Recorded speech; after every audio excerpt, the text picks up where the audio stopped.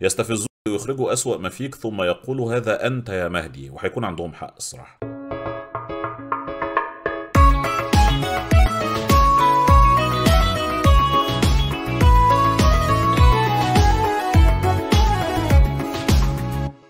السلام عليكم ورحمة الله وبركاته. يا مساء الأنوار ويا صباح الفل. وإزيكم؟ عاملين إيه؟ اللايكات بقى يا جماعة اللايكات بقى يا جماعة. أحمد أمين طلع من ال dudes. آه. ده big dude هو ليه مصر كلها بتحب جعفر؟ هو حلو ولا إيه مصر كلها بتتفرج على جعفر وناس كتير بتحب جعفر. فرق كبير. إيه حوار أحمد أمين من ال dudes دي؟ فيش كنت مكلف الناس يقفشوا لي آه، لو حد استخدم الصورة بتاعت أمين وحط عليها حكمة من حكم المسلسل فهو اللي قفش الحقيقة هو اللي قفش.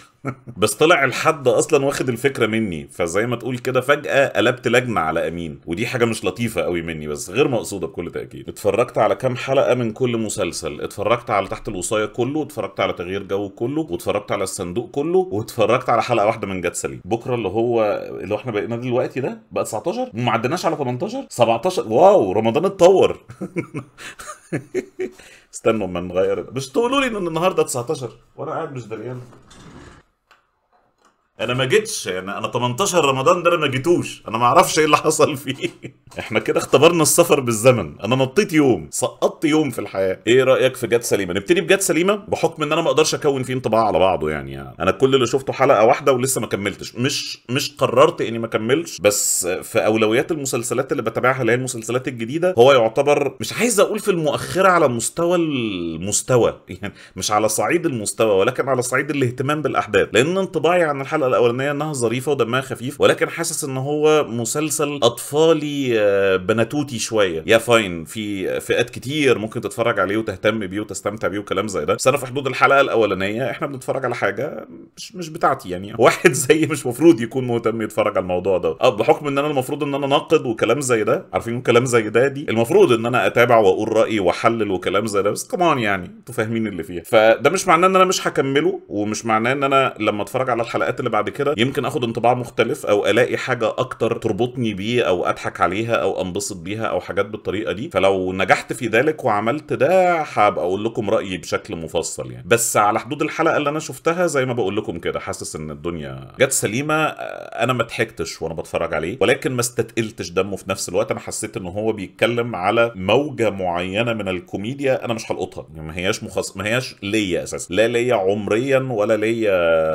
جندريا ولا ليا اي حاجة. حاسس إن ده مسلسل بناتوتي أطفالي. ومش هتوقف عند ذلك وهجرب أبص على كمان حلقة أو اتنين. وبعدين نشوف هل الموضوع يستحق الاستمرار ولا لأ. ليا أنا. لكن بشكل عام أنا مش عايز أعيب فيه. يبدو إن هو مسلسل ظريف لطيف ناس كتير حباه. بس مش ليا. حاجة كده زي وينزداي بتاع نتفليكس ناس كتير طارت بيه. أنا حسيت إن هو برضو بناتوتي أطفالي مش ليا خالص. عايز برضو أبقى دقيق وأنا بقول هو مش في مؤخرة الاهتمامات على صعيد المستوى. لأن في مسلسل آخر في مؤخرة الاهتمامات على صعيد المستوى. وده بقى لو إحنا شطار نكتشفه مع بعضينا. هو ده سؤال مسابقة ال stream النهارده. إيه هو المسلسل اللي أنا تقريبا تقريبا قررت إن أنا مش هكمله؟ مين شاطر يقول لي؟ آه تغيير جو مسلسل منة شلبي. ممل جدا.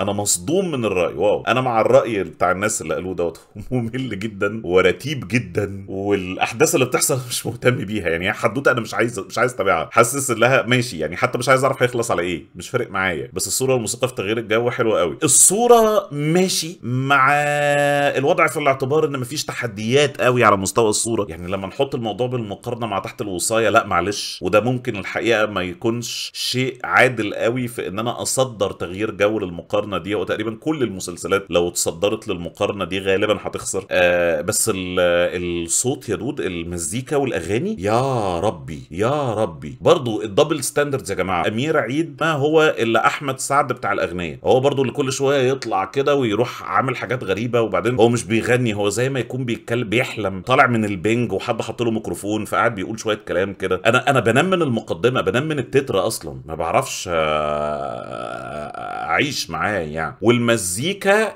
المزيكا عاملة يعني أنا قعدت طول ما أنا كل كل ما يجي فاصل في المقطوعة بتاعت المزيكا اللي بتشتغل كل شوية دي أفكر هي بتفكرني بإيه؟ هي بتفكرني بحاجة مش حلوة ومش قادر أقرر إيه هي. النهارده بس عرفت إيه هي. دي مزيكا شبه برامج الموسيقى المسابقات اللي كانت بتتعمل للأطفال بتوع المدارس في القناة الثالثه الساعة 2 الظهر اللي هو أصلا العيال كلها في المدارس. هما بيشغلوه للا أحد. اللي هو أنت مش هتسمعها أصلا ولا هتعرف عنها أي حاجة غير لو كنت عيان في البيت. فده يعتبر عقاب لأن أنت يعني اتصلبت وعملت نفسك عيان علشان تقعد في البيت فتسمع وتتفرج على المأساة دي. هو بجد زي ما يكون في فريق من الأطفال أنا كل ما المزيكا تشتغل بتخيل فريق من الأطفال يا عيني آه، طلعان وعرقانين وقاعدين بالنضارات وبيحاولوا يجاوبوا على سؤال نحو. وبعد كده في مذيع لازج واقف هيقول لهم الوقت انتهى اللي هي اللقطة اللي بتتقطع فيها المزيكا وهم يجاوبوا بقى. يقولوا بسم الله الرحمن الرحيم مدرسة القربيه الأعدادية بنين. والإجابة هي شاعر آه، النيل. فكك من التتر يا دود. أنا ما بتكلمش على التتر بس أنا بتكلم على المزيكا اللي جوه المسلسل. عشان كده اسمه تغيير جو يا دود. أيوه ما هو ما حدش وعدنا إن هو تغيير للأفضل. صراحة برضو مش غلط. أنا مش متفق بس أنت مقنع. أنا مش قصدي أقنعك. إحنا لسه في الأول عموما والمسلسل ممكن يتقلب تماما يعني. كنت حاسس إن الأمور في تغيير جو سيف. شكل البوستر حاجة رقيقة لطيفة. اياد نصار ومنى شلبي شوية شقاوة شوية رومانسية حاجات بالطريقة ديت. والدنيا تعدي وأجواء خفيفة وكلام من ده. الدنيا مش كده. والدنيا رتيبة جدا ومملة جدا. وعدد كبير من الشخصيات الثانوية بتتصدر الشاشة وهو قدراتهم التمثيلية متراجعة جدا. زي الأطفال بتوع المدرسة اللبناني وزي طقم المساعدة في المطعم بتاع آه، ميرفت أمين والحاجات ديت. تحس أصلا التصرفات بتاعت الشخصيات في, في أوقات غريبة awkward مش عارف هل في مدرسة معينة في المسلسل دوت على مستوى السيناريو أو على مستوى سرد الحوار إن هم يسيبوا مساحة للممثل بإنه يجود؟ لا المرة دي هم زي ما يكونوا مش مسنكين يعني هم واخدين مساحة لل... لحرية التعبير مش عايز أقول لدرجة ال... مش لدرجة الارتجال بس في مساحة يعني والمساحة ديت بيتم استغلالها أسوأ استغلال الإيقاع بتاع المشاهد شكله غريب مش قادر أطبع معاه وفي إصرار على إظهار بعض الطباع في بعض الشخصيات وإحنا بنتكلم في الحلقة الثالثه وبالفعل وصلنا لمرحلة الإزعاج. يعني شخصية شيرين اللي هي والدة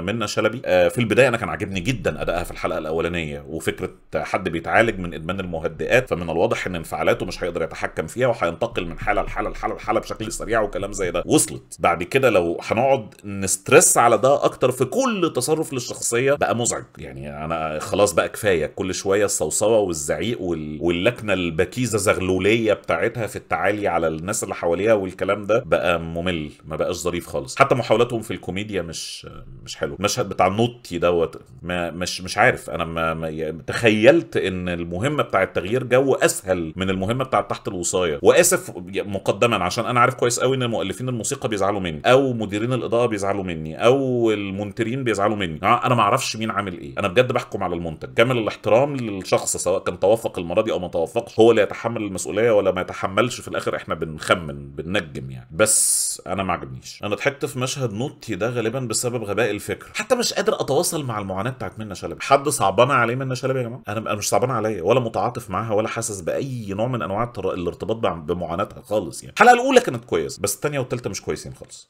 زهقت زهقت بجد يعني. لو هنتكلم على تغيير جو في حاجة عجبتني عجبني ال dynamic ما بينها وما بين إياد نصار لما أخيرا اتقدم. إن هي شخصية شعنونة هستيرية مش هادية بتجري وبتعمل الكلام ده أعتقد إن ده المسلسل بيحاول يقدمه ولا أعتقد إنه نجح فيه حتى الآن. شوفوا المعاناة بتاعتها مع العربية مع الورق مع البيت مع الفوضى مع ما أعرفش مين. وأخيرا تروح لبنان في الروقان وتحصل لها حادثة فتتحبس جوه البلد فتتعلم تهدي أعصابها وتستقبل الأمور بطريقة أفضل. وبعدين تسد الفجوات اللي موجودة في الحياة بتاعه إياد نصار اللي يبدو إن هو خارج من تجربة ومأساة كبيرة جدا والحياة تستمر وبتاع. ده اللي أنت عايز تعمله ده اللي أنت عايز تقدمه. واللي بتحاول تقدمه لمنى شلبي دوت حتى الآن جاي لنا إحنا ب mixed signals أنا أنا اللي هو نظام إيه؟ أنا بطلت أقعد قدامك واتفرج على اللي انت بتقدمه وهين عليا أجي اقعد جنبك وابص في الورقة أقول لك آه هو انت بتحاول تعمل كده؟ يعني هو إحنا المفروض من كام حلقة دول نفهم قد إيه هي شخصية مضغوطة عصبيا وده أدى لإنها ما تبقاش قادرة تستمتع بالحياة اللي حواليها والتجربة ديت هي اللي هتعلمها على الهادي يا زبادي ونهدى هو ده اللي انت بتحاول تقوله؟ أصل ما وصلش والله أنا ما فهمتوش يعني. فالحوار اللي دار ما بينها النهارده وما بين إياد نصار كان حلو في الموضوع ده اللي هي نظام هو بيقول لها الجواز وهي مسكت في الجواز جواز جواز إيه مجتمع ذكوري؟ جواز السفر استهدي بالله يعني. أخيرا ابتدت الرساله توصل. ابتديت أربط. والامان للأمانة أنا عاوز الاثنين دول. سيبك بقى من الهم اللي أنت عمال تعمله اللي حواليهم ده. ركز لي مع الاثنين دول. أنا هعيش معاهم وأبقى مبسوط. لسه بدري. لا ما خد بالك برضه هم أصل كلهم على بعضهم 15 حلقة. ففكرة لسه بدري دي آه، اسمح لي يعني. ثلاث حلقات كفاية جدا عشان أقرر ما إذا كنت عايز أكمل 15 حلقة ولا لا. أنا عاجبني ميستري بوكس أهو ده المسلسل اللي الدافع الأساسي اللي مخليني مكمله هو اهتمامي بإن أنا عايز أعرف أبعاد اللغز اللي إحنا قدامه قدامه دوت هيوصلنا لفين. ولكن هل معنى كده إن أنا مستمتع أو مشدود أو حاسس بال... بالحماس أو بشغل مخي معاهم حتى في اللغز اللي هم فيه ده؟ ولا في دماغي ولا يعني اعملوا اللي أنتوا عاوزينه بس عايز أعرف الموضوع ده هيخلص على إيه. وبصراحة برضو ابتديت أرتبط شوية بالدراما بتاعتهم اللي هي وضع وضع كل واحد من الثلاثه عائليا بالتفاصيل بتاعته بكلام زي ده. والنهاردة الحلقة كانت مايلة ناحية ده أكتر. إحنا أصلا الوقت اللي قضيناه في اللغز قليل جدا في حلقة النهارده. أغلب الوقت إحنا عمالين نخش جوه بيوتهم أكتر نعرف ظروفهم أكتر. ومن المؤسف إن ظروفهم كلها حالكة السواد. عموما يعني عموما مين حاسس إن إن الدراما اسودت في وشه؟ هو بسم الله ما شاء الله المسلسلات يعني الصفارة قطع بينا جدا جدا جدا وملوش بديل على مستوى الكوميديا على مستوى الترفيه. ونزلنا بمسلسلات ممكن تكون كويسة ممكن تكون كويسة جدا كمان بس الأجواء آه سودة في كل حاجة. حتى الصندوق دوت أنا كنت متخيل إن إحنا قدام لغز والأجواء الدرامية اللي حواليه هتبقى كده وكده. بس لا هي سواد سواد. تحت الوصايه مش نكد تحت الوصايه بيحاول إن هو يوزن الدنيا شوية. بس الأجواء اللي إحنا فيها إحنا أمام مأساة يعني. النص التاني كله حزن حزن. إن جيت اكتئاب ما بعد الصفارة. آه صفارة withdrawal syndrome لسه متابع جعفر but of course my dear عيب عليك. تعوزني ما بقاش جزء من الترنك ولا إيه؟ ده زي اكتئاب ما بعد كاس العالم طب كان يخليه اكتئاب ما بعد مسلسلات رمضان مش وإحنا في وسطها. مش كده. الكبير هو في حد النهارده اتفرج على الكبير؟ يعني سيبك من كمية الناس اللي ممكن تكون سابت الكبير لأنها يأست منه. إحنا على الأقل النهارده كنا بنتفرج على الشوط الثاني من مباراة توم وجيري اللي كانت شغالة دي. اللي فاتوا ماتش ليفربول وأرسنال فاتوا شوية إثارة رخيصة من أجمل ما يمكن. حزلقوم ظهر. يا أنا شفت حزلقوم النهارده. تابعته. كان كويس بصراحة. يعني بعد الجون الثاني تحس إن أداؤه في ال back اليمين اتحسن كتير وعمل الجون الثاني بمهارة فشيخة بصراحة. النهارده كان حزلقوم موجود. طب إيه؟ أنتوا شايفين الدنيا اتحسنت يعني بعد ظهور حزلقوم ولا إيه؟ أنا ما شفتش الحلقة فأنا ما عنديش رأي. يا ريته ما ظهر. ده المفروض هيكون في ماتشات في الحلقات اللي جاية وهتكون أحسن. أنا قلت لك رأيي. أنا شفت ال trailers بتاعت حلقات الكورة ديت ما دخلتش دماغي قوي بصراحة. تكلمت عن الكبير يا دود. أنا كنت بتفرج على ماتش أرسنال وليفربول. وبكرة برضه هكون مشغول بماتش تاني مهم جدا أثناء وقت عرض مسلسل الكبير. وأنا ما أعرفش إيه هو الماتش بس أعتقد إن هبقى مشغول بمشاهدته. أنت مش ملاحظ إن الكبير قلب على كوميديا أطفال؟ ده شيء في منتهى الخطورة يا عبد الصبور يا اخويا إن إحنا نطلع جيل من الأطفال يقعد سنة كاملة يقول الإفيهات دي. إحنا هنبتدي نشهد جرائم عنف ضد الأطفال. وبعد كده هتنزل لنا في الجرايد وعلى تويتر ويتعمل منها حالات اجتماعية وال fine print بتاعها عمره ما هيتقال والناس مش هتفهم. اتنين أطفال ضربوا بعض حد اتهور على ما أعرفش مين العنف الأسري يزداد. ليه؟ عشان العيال قاعدة بقالها سنة بتقول الإفيهات بتاعت الكبير الجزء السابع. إيه رأيك في حلقة جعفر النهارده؟ آه حلو. عملنا نوع من أنواع الانتعاش ولو إني كنت حابب إن إحنا نقضي في لغز هودنت وقت أطول من كده شوية. يعني إحنا النهارده أعتقد إن كتير جدا من الناس اللي بتتفرج نسيت الحوار بتاع عايدة ده خالص. أنا كان عاجبني قوي ال setup بتاع الحلقة دي. بتاعت الحلقة بتاعت عايدة لما اتضربت بالحديدة وبعد كده راحت طالعة المعلومة الجبارة جدا مفيش حد دخل من البيت أو خرج من البيت العمل كده موجود جوه البيت. oh my God تخيلت بقى إن جعفر هيلعب دور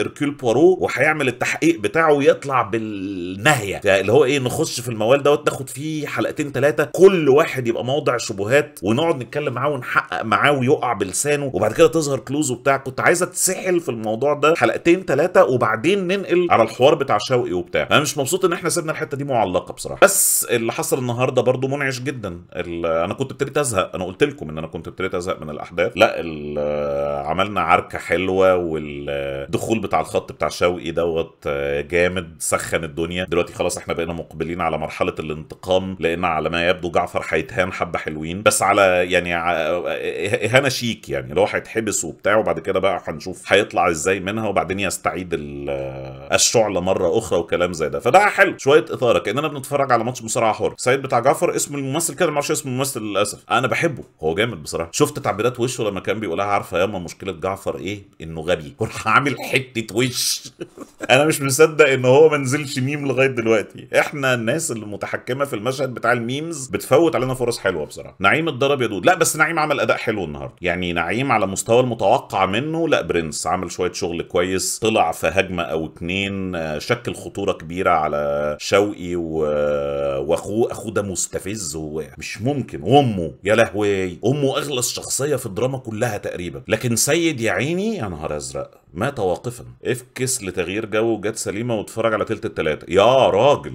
إيه رأيكم في الرأي اللي بيقولوا عز ده؟ هل ده كلام معقول على مستوى المسلسلات؟ هل هذا أقل موسم مصري؟ طب ده سؤال لحضراتكم. أنتوا شايفين إن الموسم بتاع المسلسلات السنة دي وحش؟ أقل موسم بالفعل. اللي فات أوحش. آخر ثلاث سنين مش حلوين. الموسم ضعيف. يعني إحنا لما بنقول إن هو وحش قولوا لي طيب إيه المواسم اللي كانت أحسن منه؟ ما تقوليش السنة. قولوا لي الموسم اللي كان فيه تك تك تك. اللي هو إيه أربع خمس مسلسلات حلوة مثلا. فيتفوق على ده. لأن ده في تقديري الشخصي. الهرشه السبعه كان مسلسل محترم جدا. الصفارة كان مسلسل حلو جدا. تحت الوصاية على ما يبدو. هيقلب الدنيا وعلى مستوى الإثارة والشعبوية والحاجات ديت جعفر العمدة عامل شغل. ولا إيه؟ موسم لعبة نيوتن موسم لعبة نيوتن أنا كنت بتفرج. هو تقريبا كان في لعبة نيوتن بس. موسم البرنس. جعفر أحسن من البرنس. البرنس الشرير بتاعه أفضل. إحنا البر... إحنا الشرير بتاعنا لسه ما نزلش الملعب يا برنس. أنا زعلانه عليك قوي وإنك بتتابع جعفر العمدة. تعاطف في محله والله. حسيته أحسن شوية عشان في مسلسلات كتير 15 حلقة. ده عامل مهم جدا. خلي بالك من زيزي كان مع نيوتن. أنا ما شفتش خلي بالك من زيزي. بس ده كلام وجيه طبعا. ما كانش مع نيوتن. لا بقول لكم إيه؟ اللي يقول معلومة يبقى متأكد منها أنا مش هعرف ا validate أنا في السنين بلاله أنت لو قلت لي الموسم بتاع جراند اوتيل وونوس ده 95 هقول لك أمين. الكبير كان لسه حلو أيام نيوتن. آه. اهو دي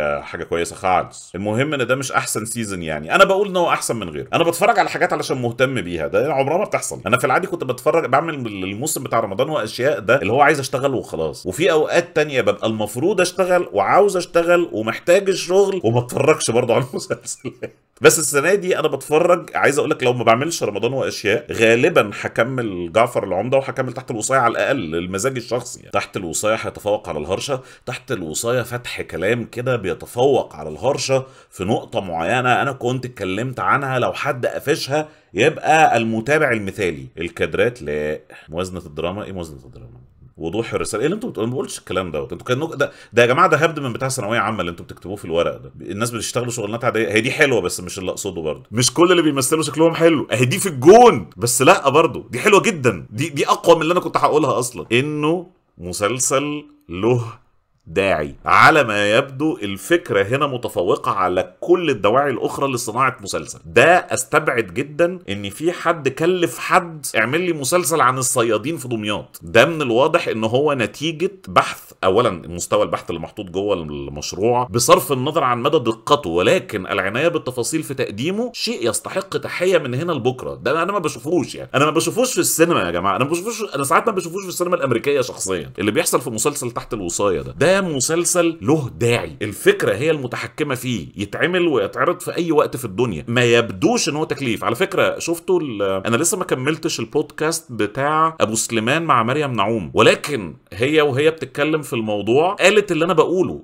فاكرين لما كنت بقول لكم موضوع مسلسلات كتير جدا يبدو إن هي تكليف؟ حد كلم حد قول له اكتب لي مسلسل. حد كلم حد قال له أنا عايزك معايا في المسلسل بتاعي السنة دي. هو ده اللي حصل في مسلسل الهرشه السبعة رغم إن هو مسلسل رائع وحتى الآن هو الأفضل في رمضان لغاية لما نشوف تحت الوصاية. متوجه لإيه؟ بس أمينة خليل كلمت مريم نعوم قالت لها أنا عاوزه مسلسل عن العلاقات. ده اللي أنا ده اللي أنا أقصده. لا المرة دي ما أعتقدش إن في حد كلم حد. أنا أتصور إن the Diabs خالد وشيرين آه كان عندهم الفكرة كان عندهم المفهوم كان عندهم ال concept كان عندهم حاجة عاوزين يقدموها. أنا ما عنديش معلومة داخلية طبعا. أنا دلوقتي بهبد وممكن أطلع صح وممكن أطلع غلط. بس ال ال الفكرة بت prevail الجديد اللي أنا جاي أقدمه دوت هو اللي بينتصر. مش معايا مين نجم ومش معايا مين معرفش مين. أنا ما بقولش إن مسلسل الهرشه السبعه مسلسل خالي من البحث أو ما فيهوش آه اهتمام بالتفاصيل أو ما أعرفش مين. أنا بتكلم على مرحلة ال inception على مرحلة الفكرة بتاعه المشروع ده كله طلعت من إيه؟ اغلب المشاريع بتاعه رمضان في الاغلب بيكون في نجم معين بيكلم كاتب أو بيكلم مخرج أو بيكلم مجموعة ممثلين ويقول لهم أنا السنة دي عايز اعمل كوميدي أنا السنة دي عاوز اعمل دراما أنا السنة دي عاوز اعمل اكشن أنا السنة دي عاوز اسافر بره مصر. فاكرين يا جماعة الموسم اللي كل الممثلين سافروا اوكرانيا فيه ده؟ على فكرة برضو الموسم دوت في ناس بتسافر في حتة كده يعني لو حضراتكم متابعين معانا ممكن تحسوا هو إيه الموضوع واخد بالك؟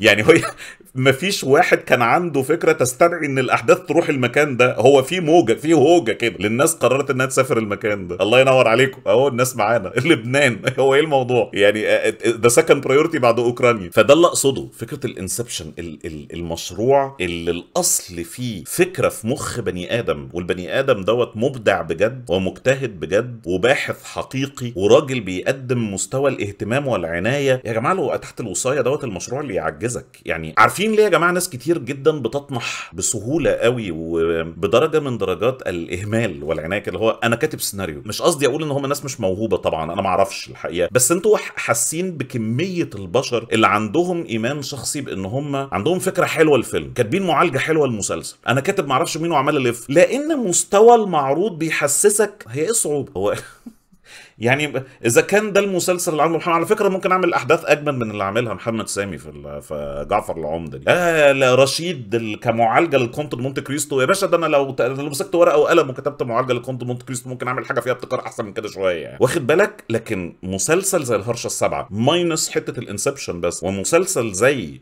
تحت الوصاية حتى الآن بالإضافة إلى فكرة ال inspiration يعجزك. يخليك يقول لك لا لو ده المستوى يبقى أنا اقعد في بيتنا. لو ده المستوى أنا ما ينفعش أكتب. ما ينفعش أفكر إن أنا ابقى سيناريست لأن اللي بتقدم ده بيرفع البار قوي قوي قوي يخليني اكتفي بكوني مشاهد لناس على ما يبدو بحق ربنا احسن مني. هو ده اللي بيحصل في العادي. ليه كل الناس مصدقة إنها ممكن تبقى لعيبة كورة في مصر؟ ليه كل العيال داخلين أكاديميات وأهاليهم بيقول لهم عايزينكم تهتموا بالكورة بتاع ما أعرفش مين؟ عشان هم شايفين ال standard بتاع المنتخب بتاع الدوري بتاع الأهلي بتاع الزمالك. أنا أنا شفت ابني وهو بيلعب في الشارع عمل ترقيصة مجدي قفشه ما بيعرفش يعمل أنا ابني كان واقف في الجون صد كرة الشناوي ما بيعرفش يصدها. ليه كل الناس مصدقة انها ممكن تبقى ممثلين. اهو بقى إيه اللي صعب يعني. ما أنا عمال اتفرج على مناظر غريبة جدا في التلفزيون. مين دول؟ هل معقول؟ يعني اللي هو أنا بتكلم بال- بالعقل بالعقلية بتاعت عدد كبير من الشباب يعني. اللي هي أنا واحد بتفرج على يعني طب ما أنا ممكن أخش وأتضرب مكان آه، ابن شوقي فتح الله ولا اسمه إيه فتح الله ده. ما يعني مش حاسس إن الموضوع صعب يعني ف... لكن لما تتفرج على المواهب اللي بجد ولما تتفرج على الشغل اللي بجد ولما تتفرج على الإتقان اللي بجد تحس إن الأدوار الإبداعية في المجتمع نفسها بيعاد تقسيمها بما يجب إنك ترتضي بكونك مشاهد متابع متفرج معجب وما تحسش بغضاضة في ده. لكن أنا كان بيسوقني لسنين طويلة جدا إن في ناس كتير تبقى مش عايز أقول اسامي بقى عشان ما أزعلش حد يعني. علشان كده أنا بقول إن الموسم ده كويس. ال- ال- الموسم الرمضاني السنة دي على الأقل فيه شوية ناس بتعيد ال segmentation بتاعت الشغل بان في وظيفة إن خالد دياب وشيرين دياب كتاب سيناريو يرفعوا البار لفوق إن مريم نعوم بال بالورشة بتاعتها كتاب سيناريو يرفعوا البار لفوق يخلوا الموضوع منطقي. آه دول ناس خدوا الفرصة دي واتحطوا في المكانة دي لأنهم بكل تأكيد الأفضل. مفيش هزار في الموضوع. منى زكي so good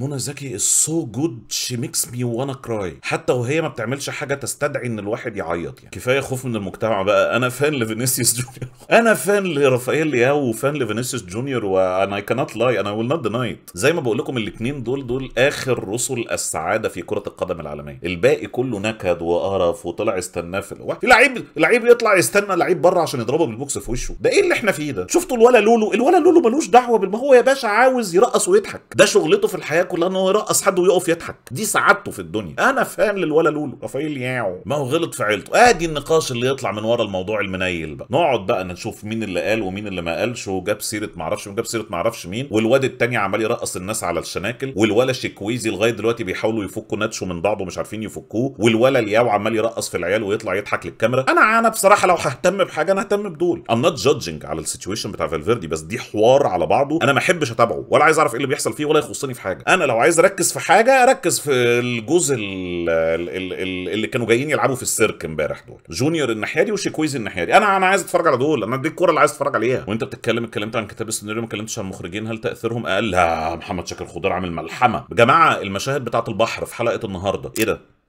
إيه ده؟ مستوى التفاصيل في الأدوار بتاعت الأشخاص اللي موجودين على المركب ال- الماشينري بتاعتها شغالة إزاي؟ ممثلين وإحنا عارفين إن هم ممثلين بيشتغلوا وبيمدوا إيدهم زي ما يكونوا أفراد على مركبة بجد. على فكرة أنا ما أقدرش أحكم على الواقع يعني صياد بجد يقدر يقول لك ده بيتحرك صح بيتحرك غلط. آه زي ما برضو في كلام هو محترم جدا أنا مش ضده على اللكنة دمياطي ولا مش دمياطي آه الإسكندراني اللي بيدعي إن هو دمي... الحاجات ديت ده كلام محترم. وسبحان الله يا جدع أهي دي أهو ده الكلام اللي الناس تتكلمه. يعني انت لما تيجي تتكلم مسل... عن مسلسل وتلاقي نفسك فجأة نسيت يعني مستوى الحوار ما بيننا تخطى عسكري الحملة الفرنسية اللي لابس جزمة أديداس ولا وحدة الإضاءة اللي بانت في الخلفية ولا الم... ولا العسكري اللي اتغير قدام باب يعني تخطينا ده ووصلنا لمرحلة اللكنة. يا لهوي! إيه يا جدعان؟ إحنا مش لاقيين مشكلة في في تحت الوصايه إلا اللكنة. أنا مش بقول للناس ما تتكلموش في ده بالعكس كلموا ده وكلموا ده كتير جدا وانتقدوه لو شايفين إن هو غلط. بس ده إحنا وصلنا للمرحلة دي بنتناقش في اللكنة. يعني كل اللي فات ما فيهوش أزمة ورايحين نمسك في اللكنة. اي لاف أنا قاعد بتفرج على شغل آه، بتفرج على شغله في الموضوع بتاع البحر. أنا قاعد بتفرج يا جماعة هو الكلام ده ده graphics ولا إيه؟ يعني هو هم حطوا بس مركبة على chroma واللي ورا ولا ده بحر بجد؟ أنا أنا لغاية دلوقتي ما أعرفش. ال shots بتاعت المركبة وهي وهي في وسط البحر لوحدها ده ده ده graphics ولا بجد ولا إيه؟ بالتفاصيل بالطريقة. يا خبر أبيض على الجمال. اسمع المزيكا يا عم بتاعت تحت الوصاية. يا إلهي. بعد ملحمي إضافي. يعني المسلسل ده ممكن تركب له مزيكا تحسسك إنها حدوتة شعبية وتركب له مزيكا زي اللي شغالة ديت تحس إن أنت في ملحمة. شوف شفت حتى استخدام الأداة بتاعت ال avant-titre؟ ال sequence اللي بيبقى في أول الحلقة قبل التتر. ده الفلاش باك. بعد ما عديت التتر أنت غير معرض لإنك تشوف flashbacks. وأتمنى إن هم يكملوا على النمط ده. الفلاش باك قبل التتر. حلو. هتفرج على 30 ثانية دقيقة دقيقة ونص دقيقتين. كل شوية هنبني أكتر في إيه اللي حصل وخلاها تهرب. وبعد التتر هنعيش مع الأحداث بتاعتها. مش واحد تاني صاحبنا كان بيجيب حتة عشوائية تماما من جوه الحلقة ويحطها قبل التتر عشر دقايق. إيه الهدف الدرامي؟ إيه الفكرة؟ إيه أي حاجة؟ يا ربي! وفوق ده كله مسلسل تحت الوصاية زمن الحلقة كام يا جماعة؟ مركزين في الموضوع دوت ولا مش واخدين بالكم؟ يعني بال... ب... بالذمة كده بالذمة. لا أنت يا عم لا تعرفني ولا أعرفك. أنت اتفرجت على الأحداث بتاعه آه تغيير جو لغاية دلوقتي والأحداث بتاعه آه تحت الوصاية لغاية دلوقتي. مين المسلسل اللي بتحصل فيه أحداث أكتر. مين المسلسل الأكثر ديناميكية مين المسلسل اللي مليان حواديت مين المسلسل اللي قدم شخصيات أكتر. يعني أنا بقول إن هو تحت تحت الوصاية وبفارق كبير وتحت الوصاية زمن الحلقة بتاعته. تقريبا 35 36 دقيقة بالتتر بالأفون تيتر. لا كل المسلسل متصور في دمياط. آه يا ريت لو حد عنده معلومة يفيدنا فعلا. طب هدي بقى لحسن في لكنة. انت المفروض يتعمل لك بان بس أنا حبيتها بصراحة. كانوا بيصوروا عندنا في دمياط وقرفنا. أنا مبسوط ان هم قرفوكوا بصراحة. طول عمري اسمع ناس بتتكلم عن ان دياب ممثل كويس وأنا ما كنتش قادر احكم على ده بالادوار اللي بتفرج عليها. لا المرة دي ممثل بجد. كل اللي حواليه مستواهم سيء جدا عشان كده لما طلعت حاجة جيدة انت شفتها فشيخ. لا لا لا, لا. تحت الوصاية لو استمر على هذا المستوى وخلص الارك بتاع شخصياته كويس في النهاية لا إحنا بنتكلم على يعني هطلعه بره السرب تماما وحاسبه محاسبة الهرشه السبعة. تلاقيني بتكلم على كلام كده ما نصار شفتوا شفتوا مشهد ال ال ال الخناقة ما بينها وما بينه؟ إيه يا جدعان؟ إيه يا جدعان؟ أنتوا ممثلين بس. لا يجب أن تكونوا بهذه الجودة خالص يعني. أنا اتشديت. اللي هو يا, يا علي الطيب مدي إيدك يا ريس. دول هيضربوا بعض. أنت هتقف تتفرج ولا إيه؟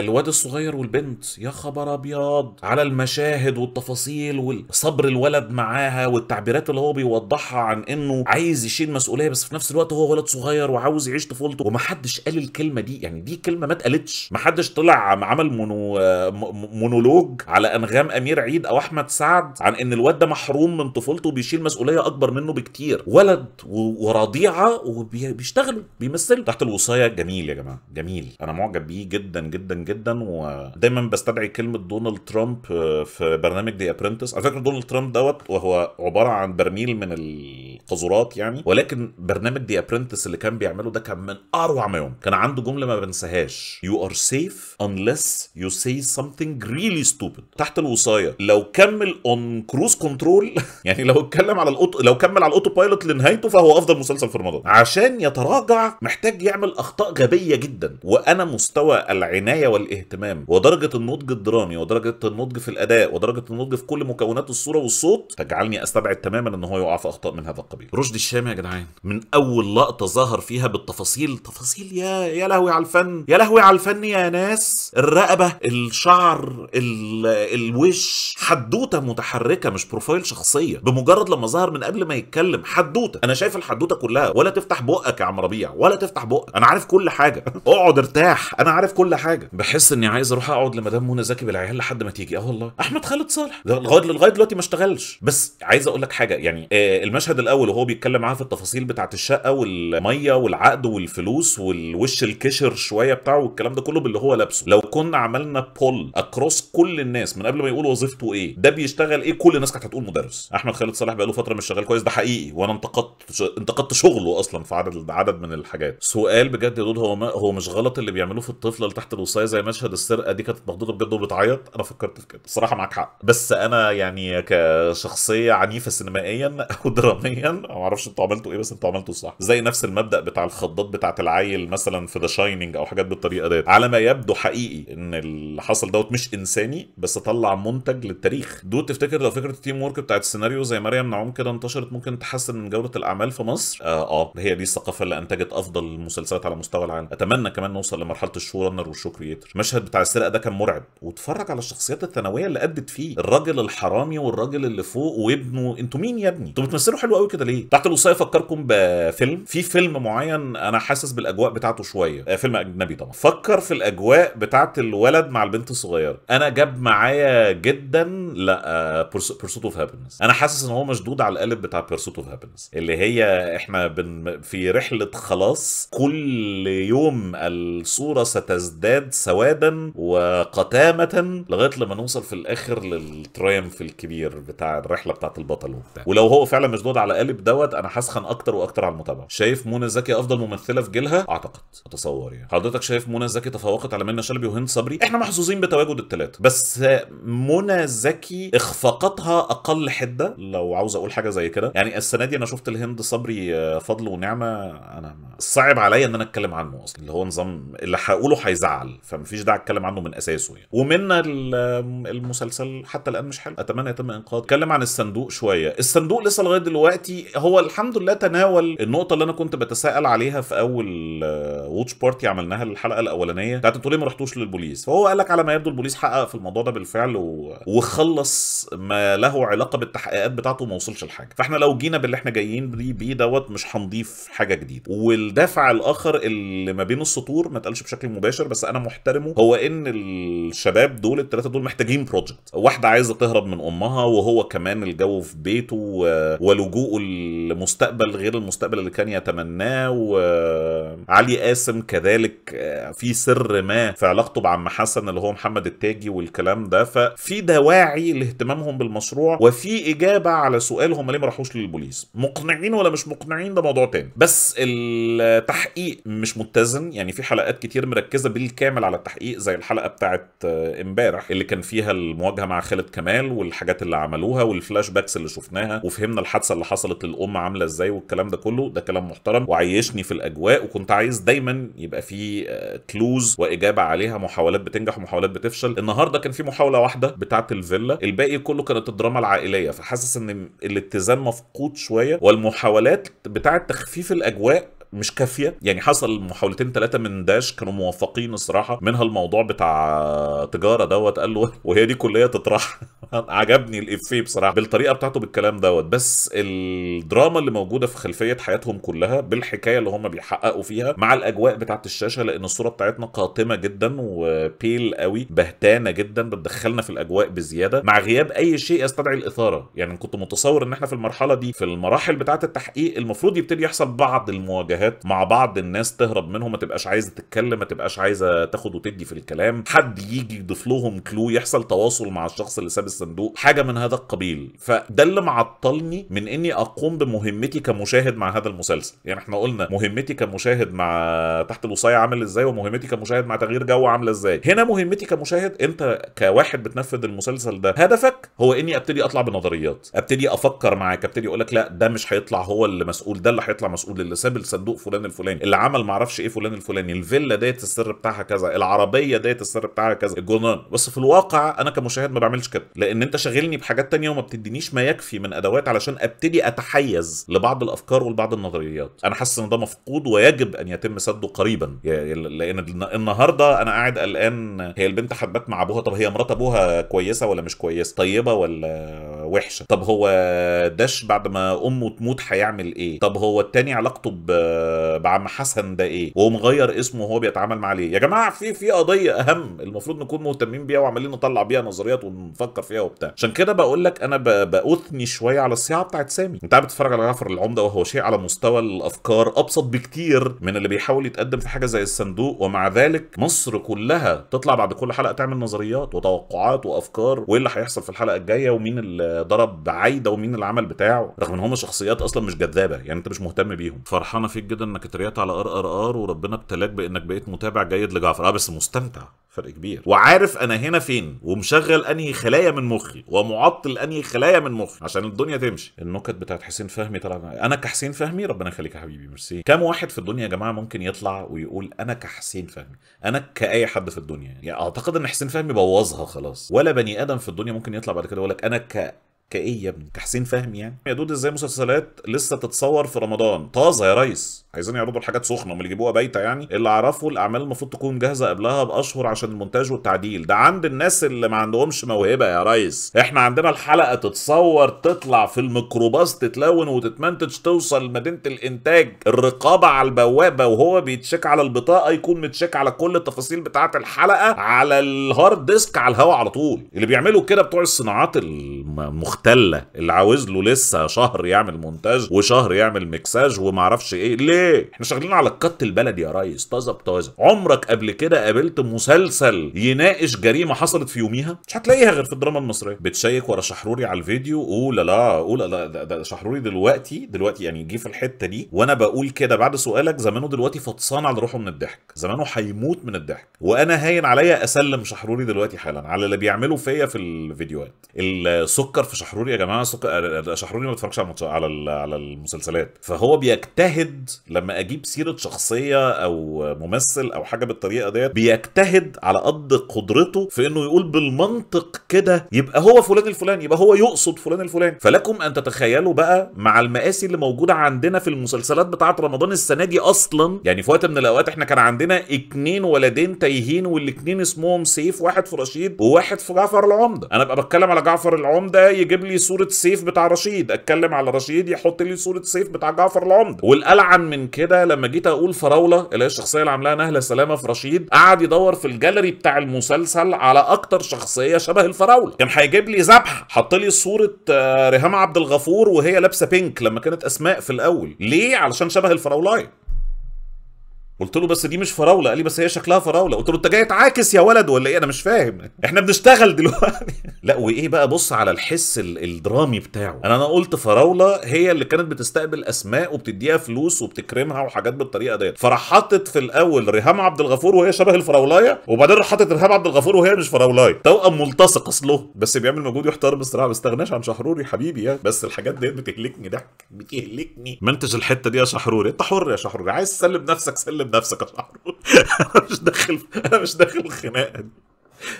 نزلت انت شوية يا دود. نزلت وزنا بس مش شكلا. يوم ال event بتاع بتاع عرب هاردوير كانوا عاملين سحور كده رحت أنا وعمر خالد وأدهم جمعة. ارتكبت خطيئة في الطريقة اللي قعدت بيها. لأن أنا كرجل ذو كرش كرجل كرشفول الطبيعي إن إحنا لما نيجي نقعد نقعد نروح شادين التيشيرت كده علشان الحاجات ال... فأنا سخنت الصراحة كنت بلعب game فيفا مع أدهم جمعة فالدنيا اتكعبرت ورحت عامل حتة منظر. وهم فرحانين قوي باعتين لي الصور. على شفت؟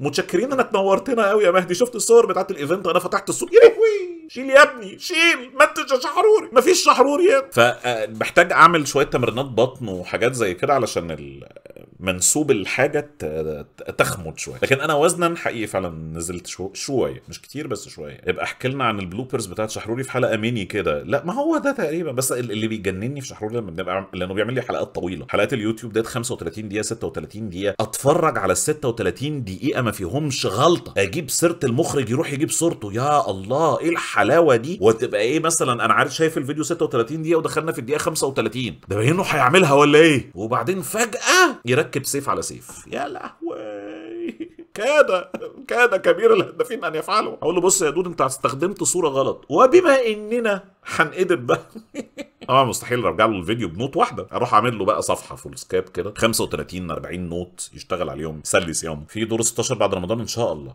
برتب برتب حلقتين كمان مش حلقة يعني حلقتين على كل قناة. آخر حلقة شفتها لجعفر أنهي؟ الأخرانية. جعفر ما ينفعش يتشال. جعفر دلوقتي بيعمل معاملة حلقات جيم اوف ثرونز انت لو استنيت ساعة بعد الفطار كل شيء هيتحرق لك. يستفزوك ليخرجوا أسوأ ما فيك ثم يقولوا هذا أنت يا مهدي وهيكون عندهم حق الصراحة. هم مش محتاجين يستفزوني قوي. هو أنا أي حاجة كده. الجوازة باظ باظت خلاص. هعمل لكم إيه؟ باظت. ها؟ سحورك إيه؟ جايبين آه سندوتشات. كنت عايز كان هين عليا أقول لك سندوتشيني ولكن هم سندوتشات الحقيقة.